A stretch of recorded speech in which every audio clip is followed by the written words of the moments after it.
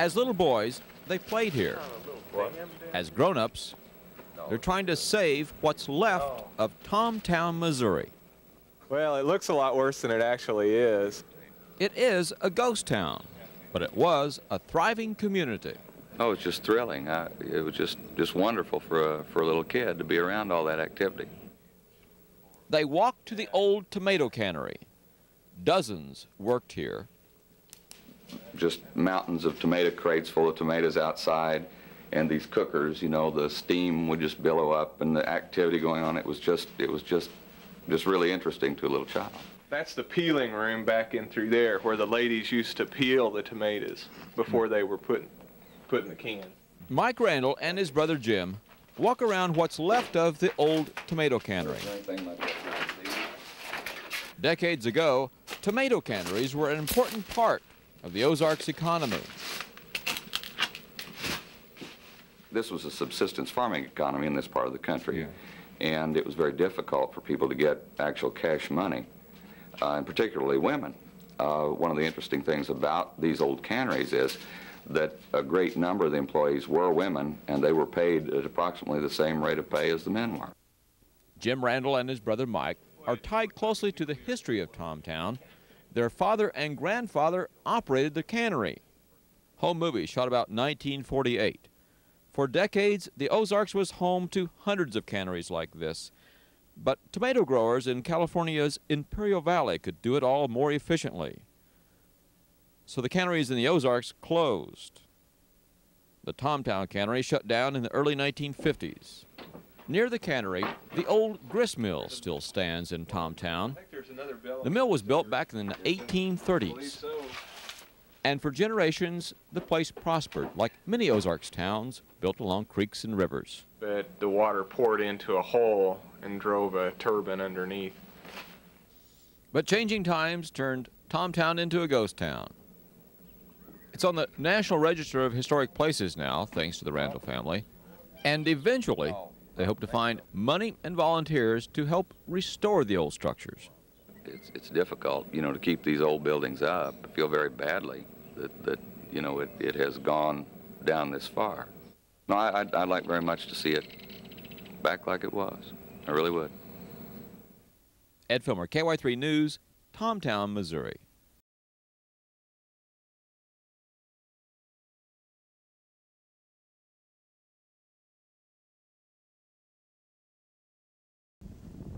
Cost $700. When he goes to the front door, Wayne Rigger steps back in time. I, I grew up here, 1935. We bought it in 1935. I spent my, I spent my whole life in the thing. His parents owned the Birdtown General Store. People came from miles around. So you used to, it was back in the wagon days, and people would come for 10, 12 miles. Some people would walk seven or eight miles. Everything that they bought was bought here. Nobody could go to town. They closed the store in 1980. Wayne's father passed away that year. They locked the doors but did not empty the shelves. A little bit of the stuff still left around, like the Prince Albert that they sold back in years ago, the Prince Albert tobacco. And still, uh, still oh yeah, that's yeah, it's still full. See, these uh, these are still. Uh, that's the that's what you gave them with a can of tobacco. When you got one of those, you got one of these papers. You roll your own back with them. So they're still. See, I think that's probably. Well, we still got some chewing tobacco for sale. if you like to chew. what was once a store is now something of a general merchandise museum. The old clocks, the, the old uh, Victrola up there, so the old Buckeye lantern, so some of that stuff, you know, I've been in the family for 100 years and longer, so I really wouldn't want to get rid of it. Here's a McGregor hardware book. What they did not stock on the shelves of the general store, they could mail order. This is a 1935 hardware catalog. I think I've seen wheel bars. Wheel bars were $18 a piece, looks like. All the supplies was in here. The ladders roll back and forth. See, you climb up the ladders to get to your whatever stocked up in the shelves back in the past.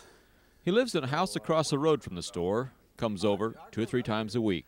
Well, you got a lot of fond memories here, you know, since you growed up here. Why, it uh, uh, can't, you know, way back in the past. Why, things have changed. Everybody goes to West Plains or Springfield or somewhere now. You know, nobody, the little country store can't make it no more. He says he'll keep the store the way it was as long as he can. Well, I like it. I enjoy it. It's mine. And as long as I live, I can come down here and think about I like it and I enjoy the, this stuff. And so when I'm gone, well, I, I suppose the family can do whatever they want to with it. So it won't make any difference. Wayne Rigger and his Birdtown General Store. Nothing's for sale, but the shelves are stocked with memories. 63 years I've spent here, so there's no point in going anywhere else now. In Birdtown, Missouri, Ed Fillmer, KY3 Action News.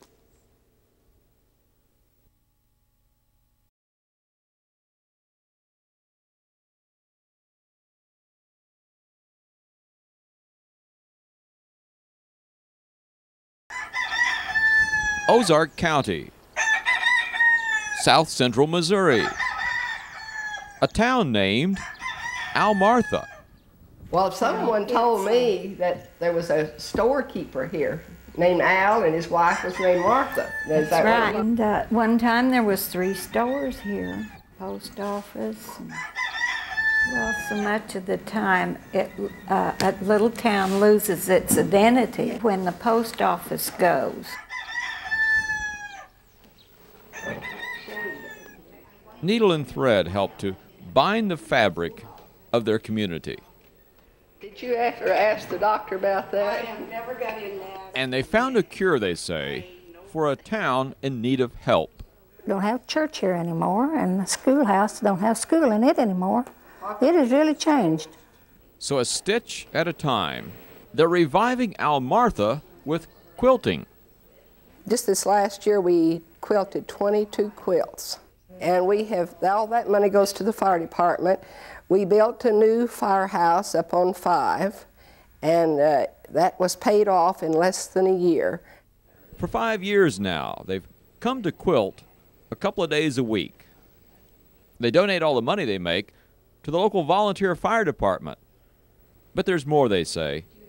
With the post office, the stores, the school all gone, this is the only place people get together in Almartha, Missouri these days. And so by sewing, they help to save the spirit of the community.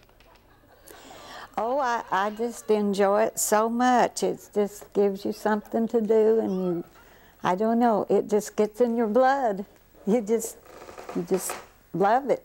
We talk about our quilts and our club and uh, our husbands, our families, and our company. But uh, really, this quilting is a um, is a therapy. It gets your mind off of yourself and the fact that you're getting a little bit older and a little bit stiffer, and your fingers might have some arthritis in them. But if you're down here with the girls, you forget some of your aches and pains, and you go ahead and enjoy yourself. The quilters of Almartha, Missouri, holding their hometown together with needle and thread. And we left the quilt or we wouldn't be doing it. So it's just an enjoyable thing. We just love to do it. Ed Fillmer, KY3 Action News.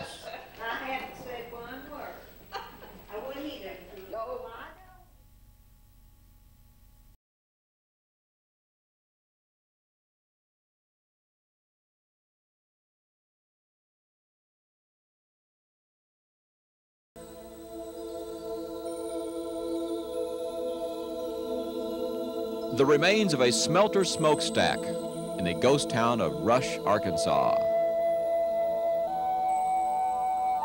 The skeleton of the general store. An abandoned zinc mine shaft on the side of a hill overlooking the Buffalo River area. And a historian tracking life long gone from Rush. There was an old newspaper article during World War I that said, Rush, the town that zinc built. And I suppose that in a way explains it. As the zinc mining became less and less profitable, the companies left.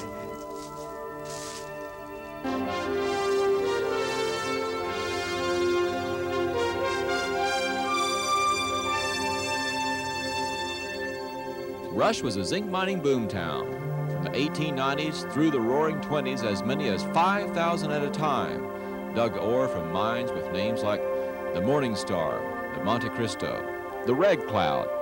After smelting, the Rush zinc was shipped all over America and Europe. But other zinc mines in Missouri and elsewhere opened, and by the 1930s, the rush in Rush was over.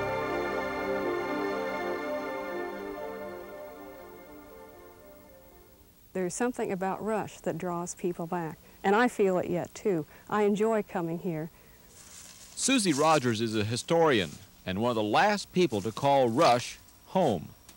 Her husband is a Buffalo National River Ranger, and until a flood damaged their home three years ago, they lived in Rush. What was it like living in a ghost town? At first, when I would drive through here at night, I would feel just a little spooky, but it, it became very familiar to me. I think the, to me the, the strangest thing about being here was how many things I kept seeing that I hadn't seen before. It was just a constant discovery. Now she's compiling information to get what's left of Rush designated a National Historic Site. What's left is just a, a token amount of that community, maybe about 10 percent. But it's significant that there's anything left in an area like the Ozarks where, as you know, things disappear very rapidly. The big mines had lost money or played out by the 30s. The post office closed in the 50s. The town at the end of the road in a remote valley withered.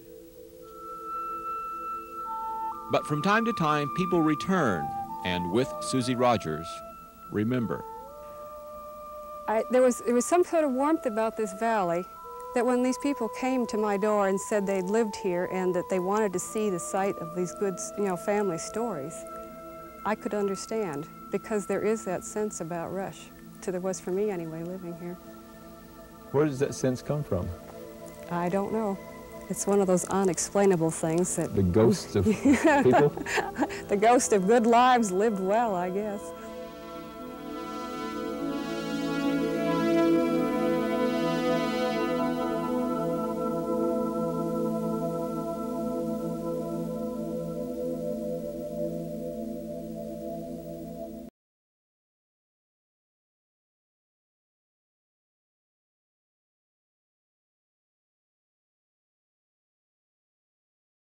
My greatest desire was to get this thing built back. It is an empty shell full of memories. We had ball games, we had uh, pie suppers, we had plays, uh, graduation exercises, and It is all that's left of what was once a significant building in a small Arkansas town. This was the gymnasium of the Parthenon Academy, Parthenon, Arkansas. My fondest men- memory is graduation exercise. I was salutatorian, and my knees was playing Yankee Doodle all the time. Beulah Reynolds enjoys a wealth of memories here. this is where I was born and raised. That's why she wants to save and restore the building. It's been around since 1936, a WPA construction project. It was in its day the center of activity in Parthenon for ball games, music concerts, pie suppers, and more. In 48, they took the uh, high school to Jasper.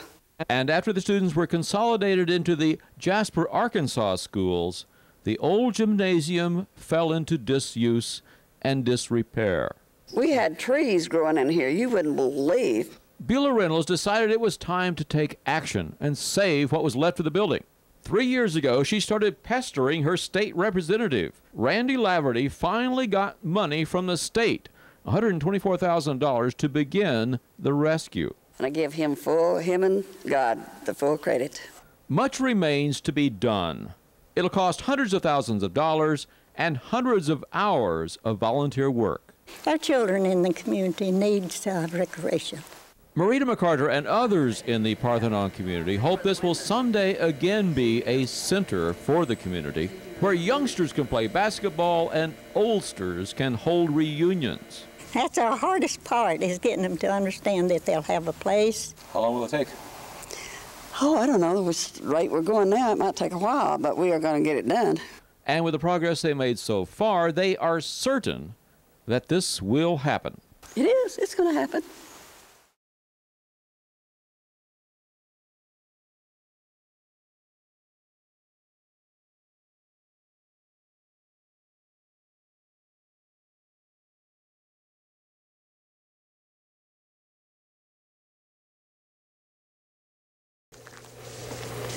When a customer drops by Shank's Grocery in Zanoni, Missouri, chances are that customer has been coming here for a long time.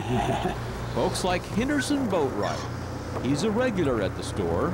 Here's a big Mountain Dew. But after 30 years of dropping by the store for a cold drink, Henderson Boatwright and other customers will have to go elsewhere.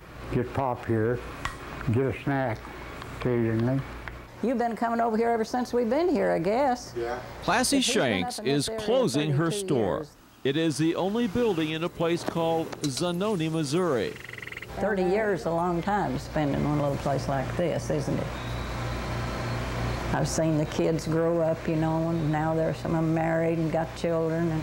And so that's, that's the way life is, I guess. Her life as a storekeeper began here, the old general store next to the Zanoni Mill. The mill and store have been kept up over the years. This week they're getting a fresh coat of paint. But now, and for the past three decades or so, the Shanks have had their store here. It's a couple of miles away from their original Zanoni store. But it, it's, it's, not, it, it's not like it used to be. Hi, Carla. The regular customers still frequent the store, but Classy Shanks says at age 83 she's ready to retire. Besides, this tiny store just can't compete with larger stores elsewhere. Kind of gone the way of the, all the other little mom and pop stores, they say, huh? Classy shares storekeeping duties with her husband Fay, but he was off brush hogging on their farm nearby when I visited. Classy says she'll keep the store open for another month or so, but she already knows she's going to miss her life as a storekeeper. That's what, that's what I'll miss, I think, just to seeing the people. What will you not miss? What will you be happy to get away from? Having to get ready to come to work every day.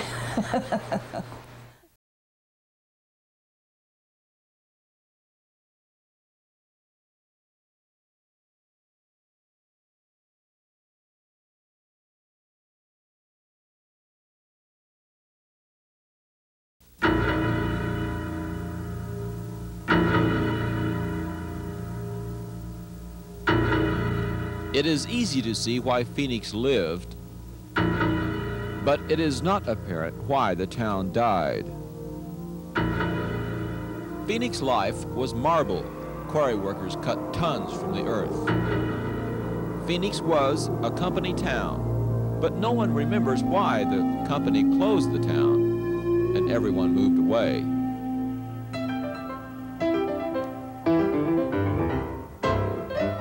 All began about 100 years ago.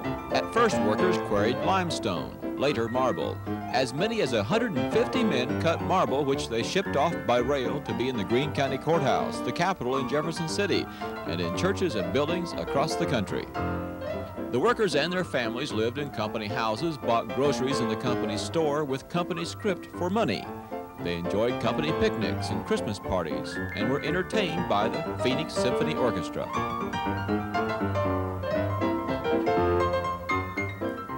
We was just like one big family. Avis Brady is the last original resident of Phoenix. This was her home. She and her husband Lawrence raised four children here. When he died a couple of years ago, she moved away. Avis Brady seldom visits what's left of Phoenix and her home, but she thinks about life there often. We lived here a long time. Raised a family. As uh, Edgar Guest said, it takes a heap of living in a house to make it home. It was home for a long time. No, I hate to see it. But that's the way it goes.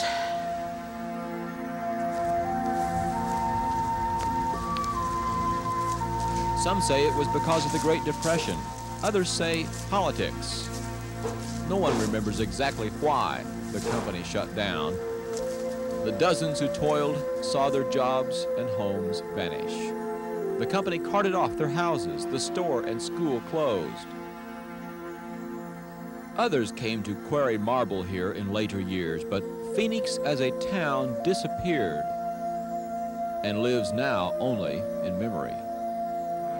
It hurt to walk back up through Phoenix and think how it used to be, but we have memories and and it's good. And people have that used to live there come back now and say, well, they don't hardly recognize. Of course, it hurts, but then it's that's time going on. And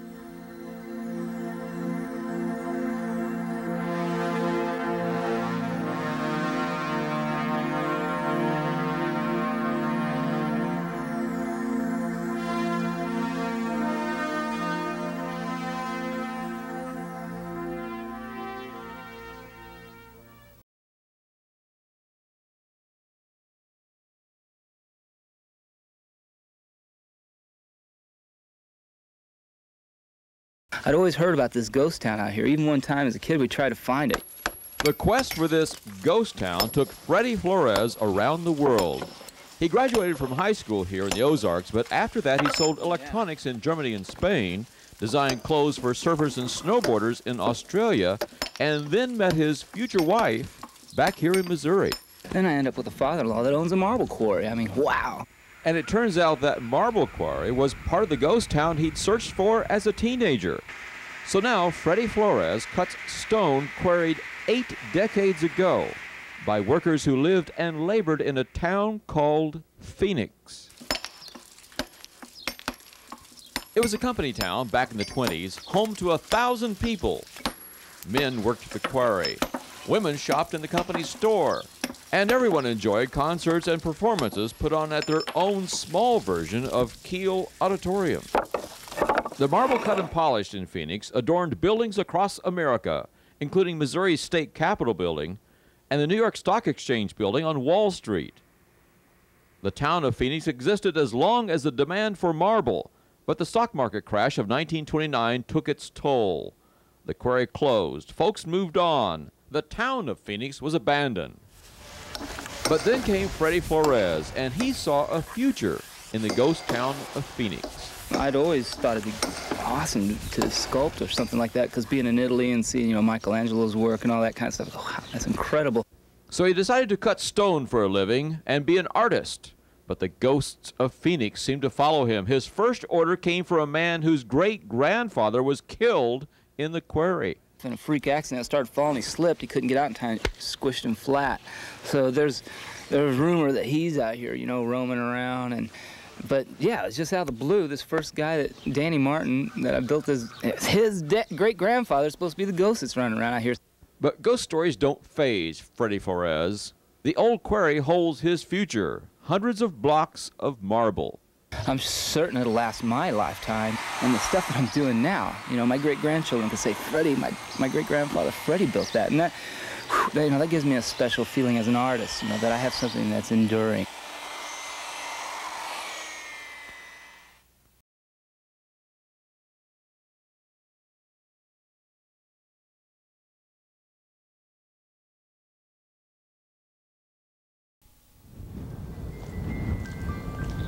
The first building, you know, I wanted was this old general store here.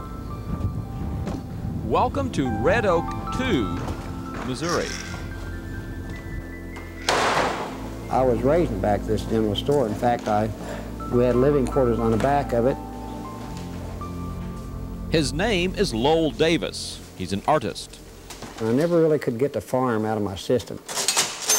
It was a way of life where neighbors helped neighbors and and we all had a Jersey cow and a garden. That time in his life is so important, Lowell Davis decided to make an extraordinary effort to preserve it. He's recreated his hometown in his backyard. What was a cornfield a couple years ago is now is town. You know, I, I got enough money saved up to move this old store in, and then it become like a, some kind of a challenge to get all these buildings and preserve them. The old general store was first to be moved and renovated, and during the last couple of years, building by building, Lowell Davis has transported Red Oak, Missouri 23 miles west and 40 years back in time. I'm not going to use the old cliche that I was born 50 years too late, but uh, uh, yeah, I am. He laughs about being born too late as he enjoys ever increasing popularity of his artwork. These tiny porcelain figures of farm scenes sell worldwide by the tens of thousands. Collectors pay up to $150 each for these Lowell Davis creations. To me, it's like I always thought when I was a kid I would paint a masterpiece or sculpt a masterpiece. You know, it would be the Mona Lisa hanging in a museum or any artist. I think, I think their, their main goal in life is to paint this masterpiece that's going to hang in a museum. And I've been painting for 40 years, you know, and sculpting for 40 years. I've never really painted that masterpiece. I wasn't expecting it this way, but I think really my masterpiece is is the town or the farm. You know, it's like a sculpture. Each one of these buildings are like a sculpture. Uh, I I take the existing building and then I add my my touches and what you know I think this should look like as far as the sculpture. And so, you know, there's no way I'd ever make my money back out of this. You know, there's no there's no. Uh, I'm not looking at it in any financial way whatsoever. Payback is just I guess it's just doing it, you know, it's just like painting a painting or a sculpture. It's just, just seeing it done. It's, uh, when it's all said and done, and uh, I guess this will be my masterpiece.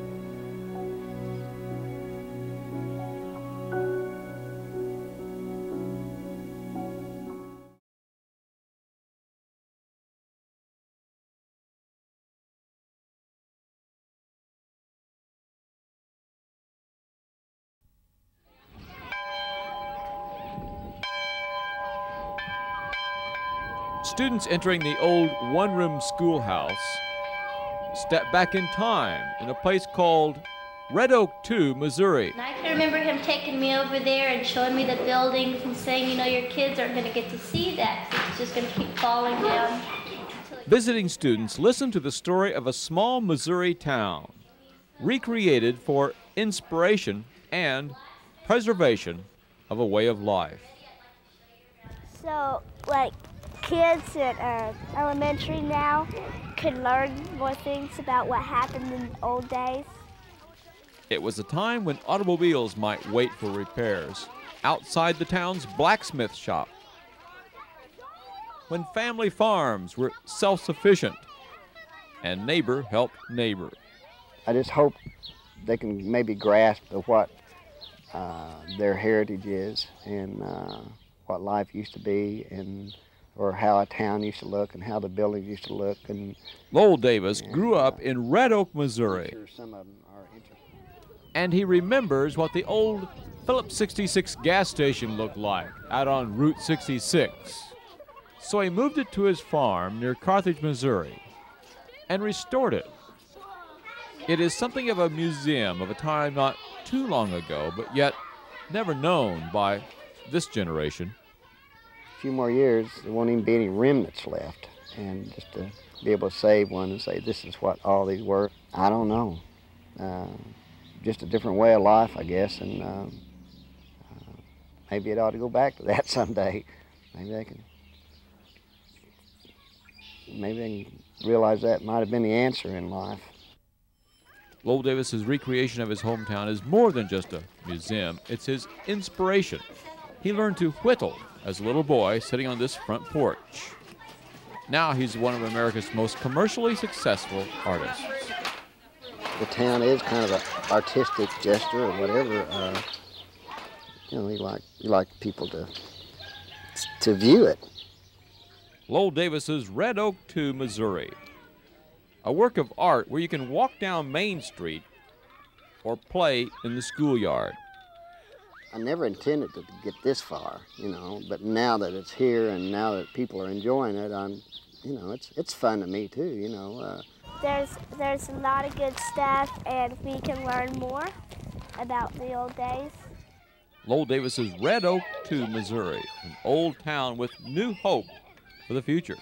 I still have about 60 acres left.